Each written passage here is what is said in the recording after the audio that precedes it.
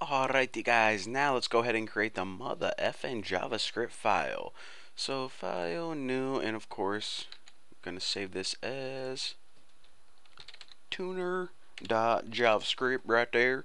Okay, now, again, I know I did this like, um, probably at least three times already, but since I haven't, you know, programmed any Ajax in probably, I don't know, at least a couple weeks, then let's go ahead and do this again.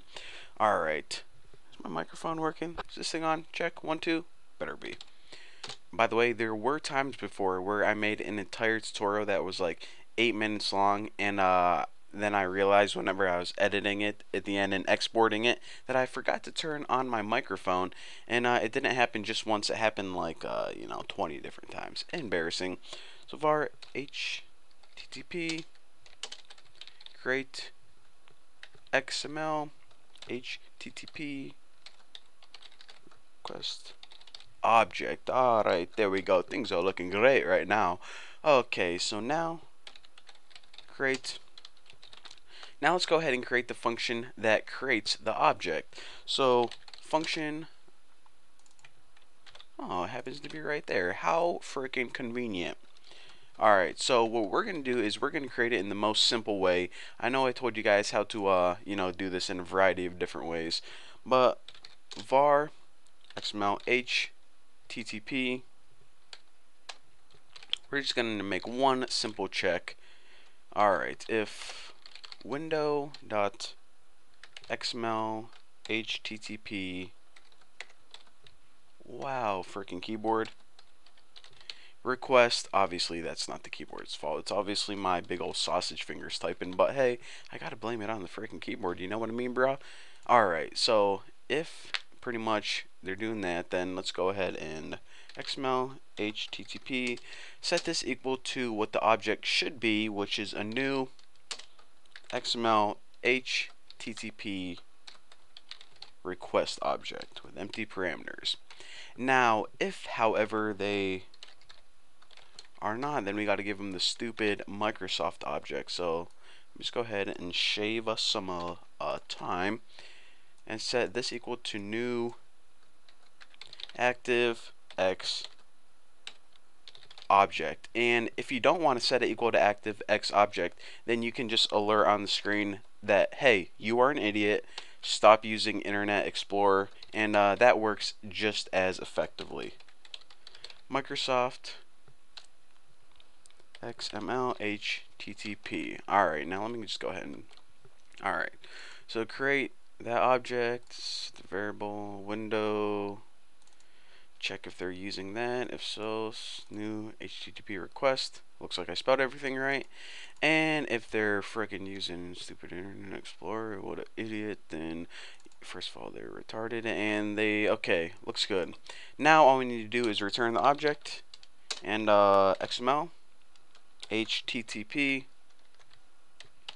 Alright, so now I guess there's um two more functions before we get to the good stuff. Now the next thing that we need to do is we need to create that process function. So remember in our HTML file, actually I like to set it up like this. HTML, JavaScript, XML, I don't know why. But anyways, remember in the HTML file, as soon as our web page loads, we call this function process. Well, we don't have that function created yet, so this gets called on load. Actually, let me give me some more space to work with. Whoa, that's plenty of space. Easy, Bucky. Alright. Function, process. Now, the first thing we want to do is we want to check for the variable, and that's the only if statement that we're going to have in here. So if this variable exists, then what we want to do is we want to try to catch a baseball. So try and catch E. Set up the shell for that. Now, what do we want to try to do? Hopefully, this is what's going to happen. Well, with this variable, what we want to do is we want to open pretty much a connection to the XML file. Now, we're just going to use get won't complicate things. And now, what name is the file? Well, it's tuna.xml. And just set the last parameter equal to true.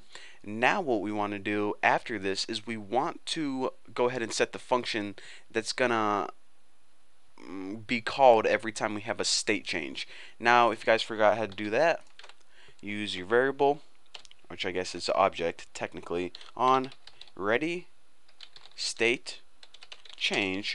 What function do you want to call? Well, handle state change and I know that we didn't create this but we're going to in like uh, 15 seconds.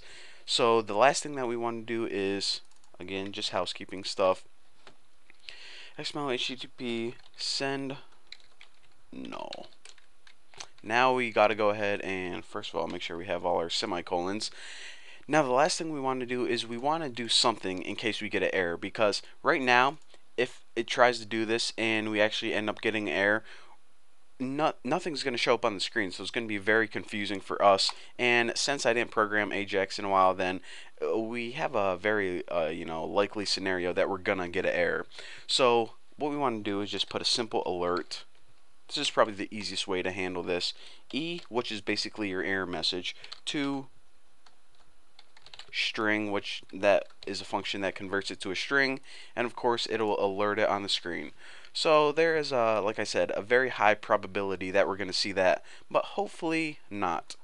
So basically what happens is we created the object, depending on if they have Internet Explorer or not, and then we call this function that's going to pretty much be called as soon as our web page loads.